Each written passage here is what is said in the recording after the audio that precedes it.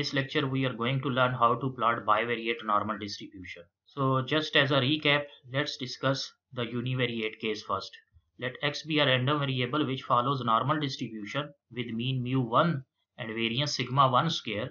That is, x is distributed as big N for normal and within parentheses its two parameters. Mu1 is the first parameter which is mean and sigma 1 square is the second parameter which is the variance.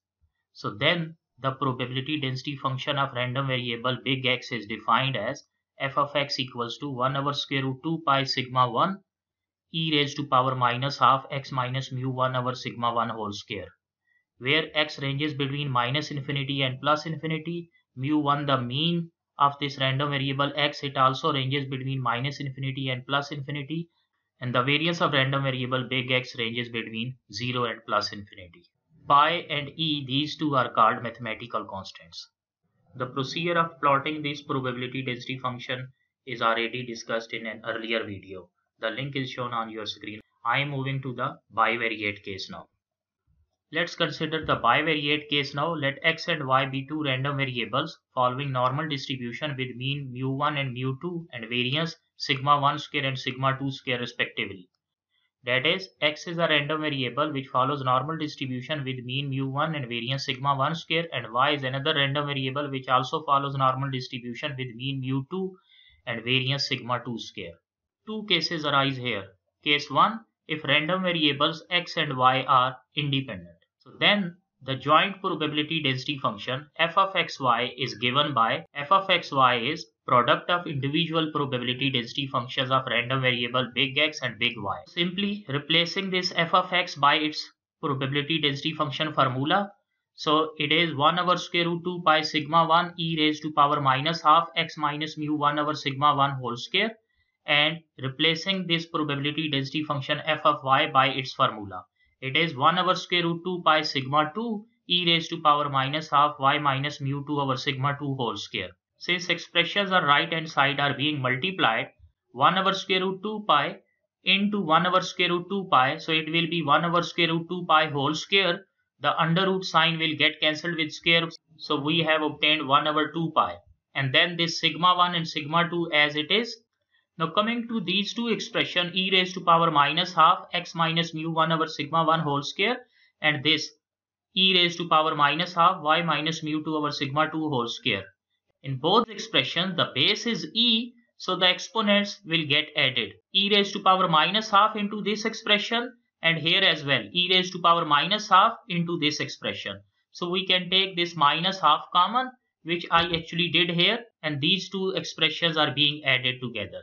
So this is the formula of joint probability density function when two random variables big X and big Y are independent. Let's discuss case 2. If both random variables X and Y are not independent. So let rho be the correlation coefficient between both random variables X and Y. So then the joint probability density function f of xy is given by this formula f of xy equals 1 over 2 pi sigma 1 sigma 2 into square root of 1 minus rho square into e raised to power minus 1 by 2 1 minus rho square into x minus mu 1 over sigma 1 whole square minus 2 times rho into x minus mu 1 over sigma 1 into y minus mu 2 over sigma 2 plus y minus mu 2 over sigma 2 whole square where both x and y range between minus infinity and plus infinity. Mu 1 and mu 2 also range between minus infinity and plus infinity sigma 1 square and sigma 2 square range between 0 and plus infinity. Rho is the correlation coefficient, so it ranges between minus 1 and plus 1 where both end limits are included. Pi and E are mathematical constants. Now let's discuss a special case when the two random variables are independent. So it means this rho will be 0 in that case. So replace rho by 0 here in the formula of this joint probability density function. So if you replace this rho by 0, so 0 square will be 0. So 1 minus 0 is 1 and square root of 1 is 1. So we are left with 1 over 2 pi sigma 1 sigma 2. And now e raised to power minus 1 by 2 1 minus 0 square. 0 square is again 0. So 1 minus 0 is 1. So 2 into 1 is 2. So minus 1 by 2. So now replace rho by 0 here as well. So this middle term will become 0. and we are left with first and last terms here within these square brackets. So you can see that this formula, the simplified version of this formula exactly matches with this formula.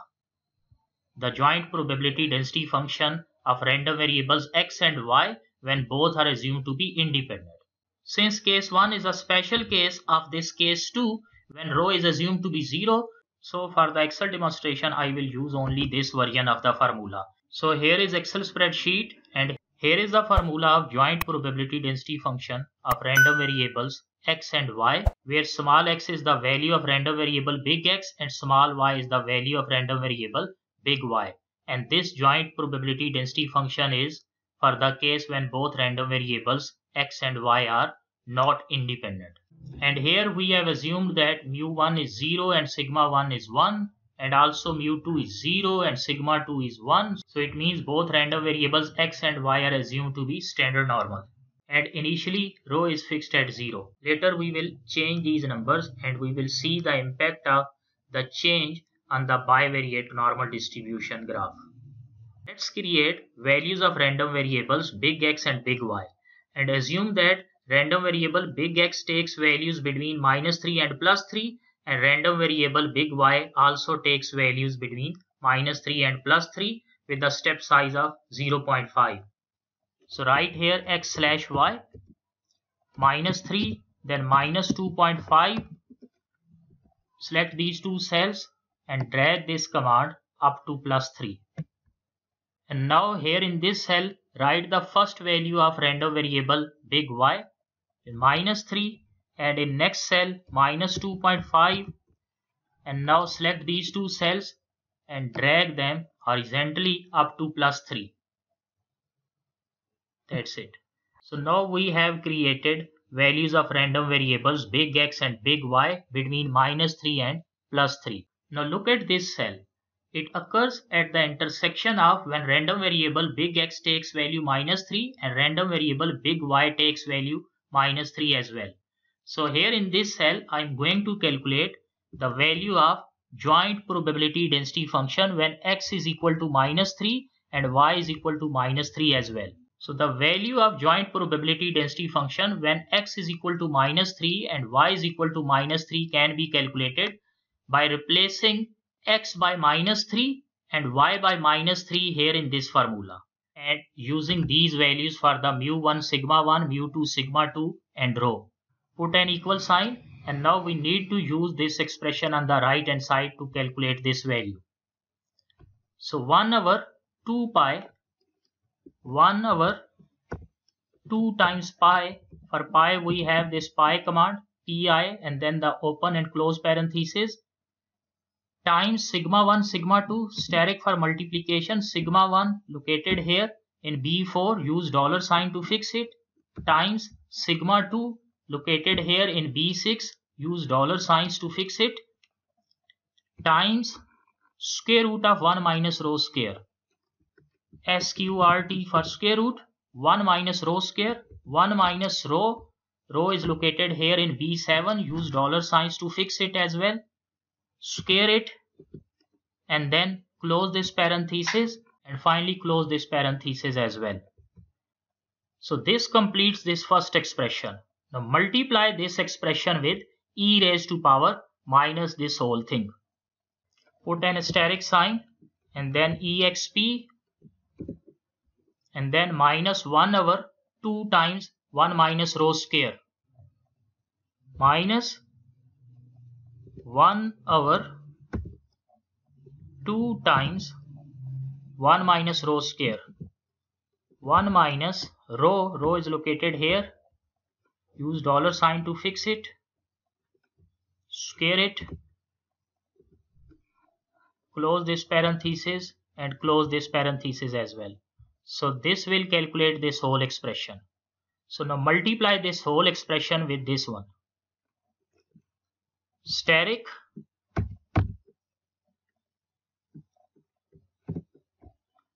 so I have added three parentheses. Now x minus mu 1 so x, this first value here. And please note that you need to put dollar before this column heading. Minus mu1 located here. Use dollar signs to fix it. X minus mu slash sigma 1 sigma 1 is located here. Use dollar sign to fix it. So now we have calculated x minus mu 1 of whole over sigma 1 and then square it. Close this parenthesis and square it. So this expression actually calculates this whole thing. And now we need to calculate this second term and then this third term. And finally we need to close this parenthesis so that will multiply this whole expression with this uh, minus 1 by 2 into 1 minus rho square. So now put a minus sign. Minus 2 times rho. Rho is located here. Use dollar sign to fix it into x minus mu 1 x is located here so dollar c3 minus mu 1 mu 1 is located here in b3 use dollar signs to fix it. Close this parenthesis slash sigma 1 sigma 1 is located here in b4 use dollar signs to fix it as well. So now we have calculated x minus mu 1 over sigma 1 close this parenthesis and then steric sign for multiplication the two parentheses and now move to this expression. Y y is located here? Please note that in case of x we have used the dollar sign before the column heading. And now in case of y we are using the dollar sign before the row heading. This is done just to facilitate our calculations. There is no need to retype this command for the rest of the cells. So we can simply copy this command horizontally as well as vertically to calculate the joint probability density function for the rest of the values of x and y. So this is y minus mu2 mu2 is located here. Use the dollar signs to fix it. Close this parenthesis slash sigma 2 sigma 2 is located here. Use dollar sign to fix it as well. Close this parenthesis as well. So now we have calculated this second term. Plus now the final term y located here. Use dollar sign only before this 2 minus mu2 mu2 is located here. Use dollar signs to fix it. Close this parenthesis. Whole divided by sigma 2 which is located here. Use dollar signs to fix it as well. Close this parenthesis and take its square. Close this parenthesis as well and now you need to close this parenthesis as well so that's it now this excel command will return the value of joint probability density function which is obtained via this formula when random variable big X and big Y both are equal to minus 3. Press enter. So here is the value. Now simply copy this command downward. Now I'm going to shift this formula downward because I need space here. And now I'm going to copy this command in all these remaining cells. So for this, select this whole column and simply drag it rightward. So now this explains why it is important to use the dollar signs at appropriate places. The appropriate chart type for this data is the surface plot where the values of random variable big X will be taken along x-axis and the values of random variable big Y will be taken along y-axis and the middle values the values of joint probability density function obtained at different combinations of values of x and y will be taken along the z-axis. In order to make the surface plot in Excel in its correct form, we need this cell as blank cell. Delete it and now select this full data. Go to the Insert tab. Click on Recommended Charts. Click on this. Select Surface. And here is the bell-shaped curve. Click on OK button increase the size of this chart.